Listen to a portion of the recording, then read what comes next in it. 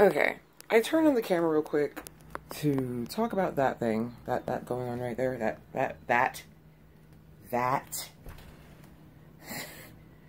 Because I have some depth perception issues and I bump into things all the time, but that's a killer. And after a month almost of being here in New Jersey, I have one thigh that looks like that. You see that? That's just... I have no idea how to point my camera anymore. I'm always wrong. That one doesn't look so bad, but this one is quite... quite awful.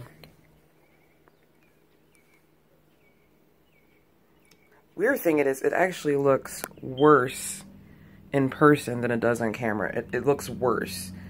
It's a lot it's a lot more of a deeper bruise than what I'm seeing on the camera. But yeah, that's, and I keep bumping it too. So yeah, yeah. I just showed you bruises for no reason. Bye.